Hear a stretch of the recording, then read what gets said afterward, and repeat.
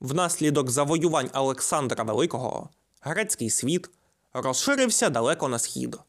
Почалася епоха еллінізму і виникли елліністичні держави.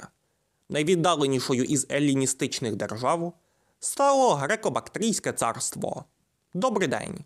Ви на каналі Олександр Петрик. Сьогодні я розповім про стародавнє Греко-Бактрійське царство. А прямо зараз, дорогі друзі, поставте цьому відео лайк і обов'язково в коментарях під цим відео напишіть, чи чули ви раніше про Греко-Бактрійське царство, і чи хотіли ви, щоб я зняв відео про індогрецьке царство.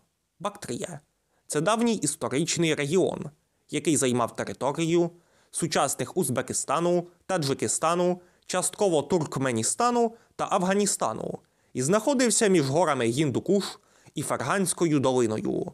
Населяли цю землю племена бактрійців, які перебували на високому рівні розвитку, будували власні міста, добували корисні копалини, серед яких було золото, і займалися сільським господарством та ремеслами.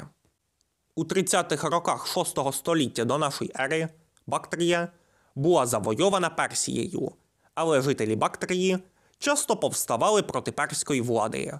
У 329 році до нашої ери у Бактрію прийшли війська Олександра Великого.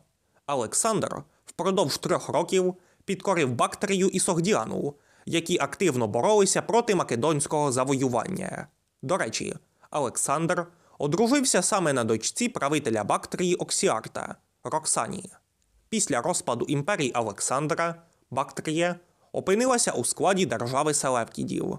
Селевкіди активно заохочували греків і македонців до переселення у Бактрію, тому край був дуже сильно еллінізований. В Бактрії існувало багато грецьких полісів. Місцева бактрійська знать увійшла у тісний союз із греко-македонською владою.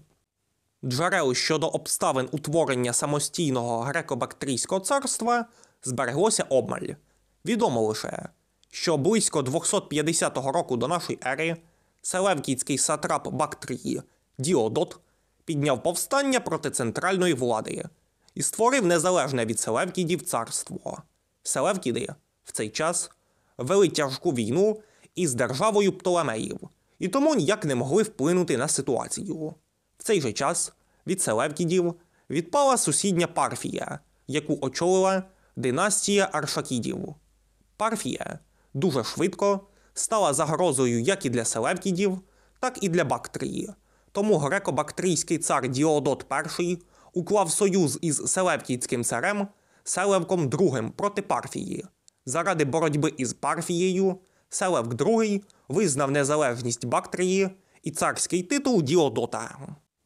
У 239 році до нашої ери Діодот І помер, і новим царем став його син Діодот II.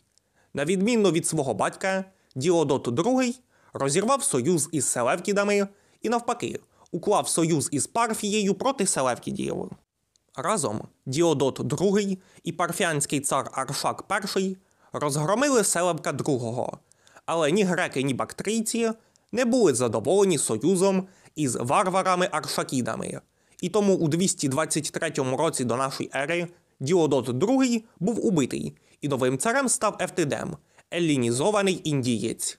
Ефтидем під час свого правління зіткнувся із вторгненням селевкітського царя Антіоха III Великого, який задумав повернути Парфію і Бактрію під владу селевкідів. Війська Ефтидема були розбиті, але бактрійський цар зміг укласти з Антіохом вигідний мирний договір. Антіох визнав царський титул Ефтидема в обмін на залежність Бактрії від Селевкідів. Але тільки но Антіох відступив назад у Сирію, Бактрія знову стала повністю незалежною державою. Наступник Ефтидема І, Деметрій І, здійснив масштабний похід в Індію і завоював північно-західну Індію. Античні автори називали Деметрія царем Індії. Також Греко-Бактрійське царство вийшло до берегів Аравійського моря. Греко-Бактрійське царство було доволі багате. Воно контролювало торгові шляхи із Індії до Середземномор'я. Бактрія мала тісні контакти з Індією та Китаєм. Під впливом індійського буддизму в Бактрії виник греко-буддизм. Культура Бактрії вдало поєднувала елементи грецької і східної культур. У середині другого століття до нашої ери греко-бактрійське царство роздирали міжусобиці між членами правлячої династії. В цей же час на греко-бактрійське царство з півночі напали кочівники, спершу племена юеджів, а пізніше скіфів. Греко-бактрійське царство було розгромлене кочівниками.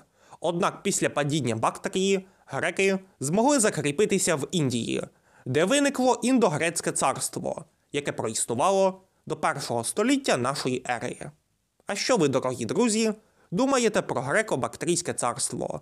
Пишіть свої думки в коментарях, ставте лайки, підписуйтесь на канал. До нових зустрічей!